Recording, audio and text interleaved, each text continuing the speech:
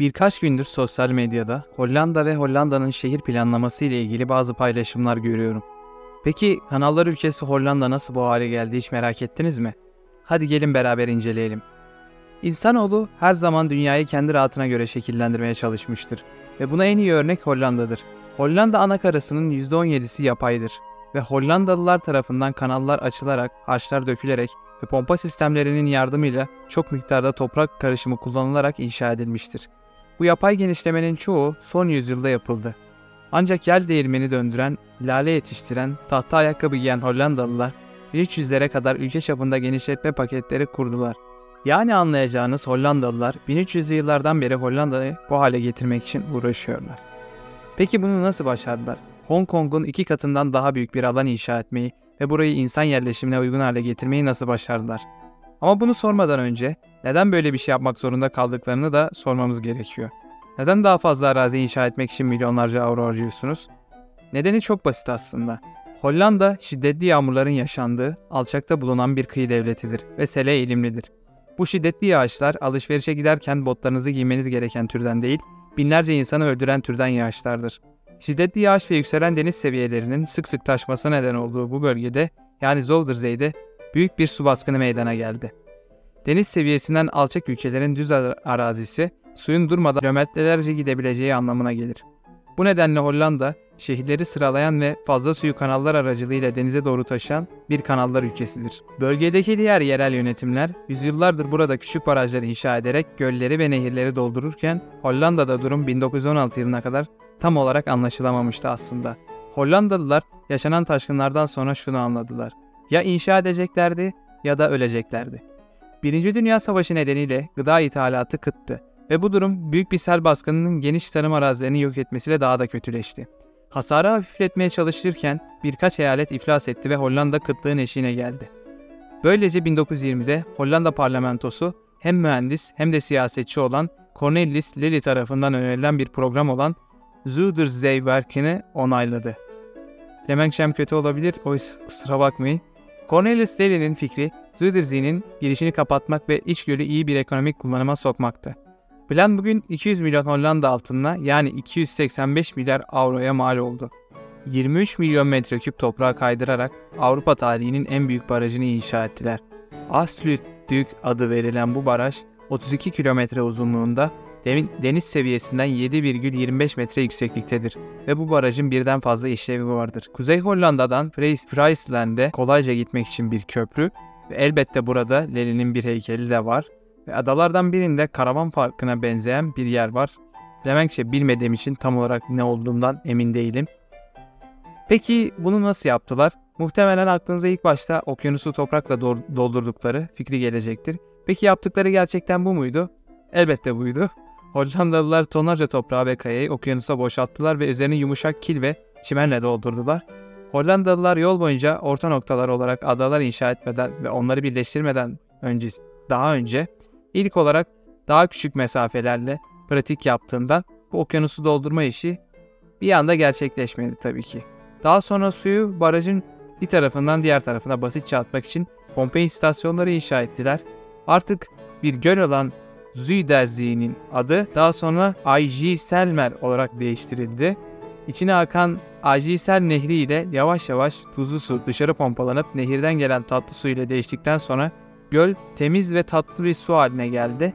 Bugün Hollandalıların içme suyunun çoğu bu devasa gölden geliyor. 1800 kilometre karelik bu yepyeni göl ile Hollandalılar artık istediklerini yapmakta özgür. Kritik olan tek konu ise barajı inşa etmek için harcadıkları o tüm parayı geri kazanmaları gerekiyordu. 1920'den başlayarak Hollanda hükümeti Wiedwin Garmer adlı bir bölgenin çevresinde başka bir baraj daha inşa etti ve ardından yeni arazi oluşturmak için suyu boşalttı. Bu baraj gayri safi yurt içi hasılayı ve ekonomiyi büyütecek köyler, çiftlikler ve endüstri için yeni yerler açtı. Bir sonraki polder North Polder olarak adlandırılıyordu ve bu şu ana kadar çok iyi gidiyordu. Bu arada polder setler yardımıyla denizden kazanılan topraklara deniyor. Görselde gördüğünüz gibi.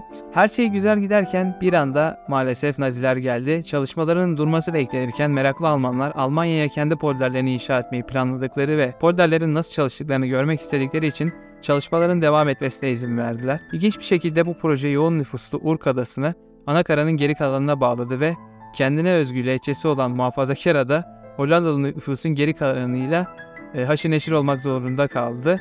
Savaştan sonra polder tamamlandığında bilim adamları eski kıyı şeridi alanlarının çoğunun su eksikliğinden etkilendiğini ve birçok çiftçinin düşük mahsul verimi nedeniyle sıkıntı çektiğini öğrendi.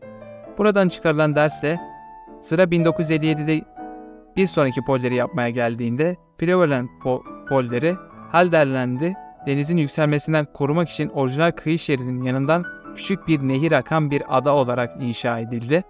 Prevalent iki parça halinde inşa edildi. Kuzey ve güney. Önce kuzey ve doğu kısmı inşa edildi. Ardından kısa bir ara verildi ve güney yarısı ile devam edildi. Kırsal Zeland eyaletindeki kitlesel sel ve yoksulluk nedeniyle bölgeden pek çok çiftçi yeni bir hayata başlamak için Freeland'e taşınarak Polder'in yerel ekonomisini harekete geçirdi. Ayrıca Amsterdam'daki bir konut krizi birçok insanı şehirden uzaklaşmaya zorladı ve birçok Hollandalı Freeland'e taşınmak için mükemmel bir yer olarak gördü. Yeni şehirlerine Almere adını verdiler. Şehrin şu anki hali gerçekten de çok güzel değil mi? 1986'da Floland, Büyük Floland'ı oluşturmak için Noordspolder ile birleştirildi ve burası resmi olarak Hollanda'nın 12. eyaleti olarak kabul edildi.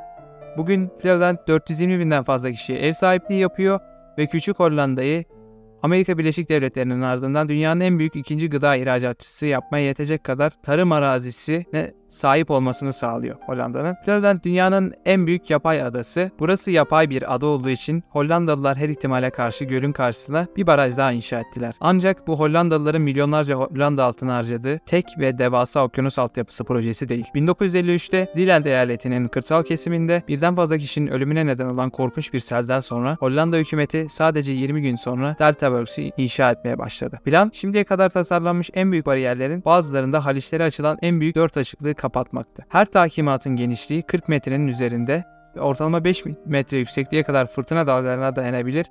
Bu düşük gibi gör aslında düşük gibi görünse de ortalama iki katlı evinizin yüksekliği kadardır. Nihayetinde bu yapılar uygun bakım sağlandığında 2000 yıla kadar hayatta kalacak şekilde tasarlanmıştır ve hatta ekolojik kaygılar göz önünde bulundurularak yapılmıştır. Hollanda hükümeti milyonlarca gulden pahasına bölgedeki birçok bitki ve hayvanın neslinin bozulmamasını sağlamak için bu bariyerlerden birinden tuzlu suyun girmesine izin verdi. 70 yıldan kısa bir süre içerisinde Hollandalılar neredeyse kendilerini selden tamamen korudular ve bu süreçte de vatandaşlar Hollanda için bol miktarda zenginlik yarattı. Bu olay insanlık tarihindeki en büyük başarılardan biridir. Bunu söylerken abartmıyorum çünkü uzmanlar da benim gibi düşünüyor. 1994 yılında Amerikan İnşaat Mühendisleri Derneği bu baraj sistemini modern dünyanın 7 mühendislik harikasından biri olarak ilan etti. Ancak daha fazla genişleme planları bununla sınırla kalmadı. Gelecekte nerede ne inşa edileceğine dair bir sürü önerge masaya yatırılmış durumda. Bir sonraki eyalet olan Markarvad'ın 2016 yılında Markarvad'ın 2016 yılında inşaatına başlandı. Lizelmer Körfezi'nin Zuider-Ziverken baraj sistemi tarafından okyanusla bağlantısı kesildiğinden yerel ekosistemin çoğu bu nedenle düzenli gergitlerin ve okyanusların tuzlu suyun olmaması nedeniyle zarar gördü. Ekolojistler birçok ada, kıyı şeridi, koy ve lagün inşa ederek önceki geliştirme çalışmalarının neden olduğu bozulmayı telafi etmek için yeni çeşitli ekosistemleri beslemeyi umuyorlar. Hollanda halkı deniz seviyesinin çok altında mutlak bir güvenlik içinde yaşarken, çalışırken, oyun oynarken, çalışırken büyümeye, refah yolunda ilerlemeye devam ediyor. Belki bir gün Hollandalılar kıyılarını genişletme arayışlarını durdurur. Ancak şimdilik Hollanda halkı Hollanda'yı Hollanda yapmaya devam edecek gibi gözüküyor.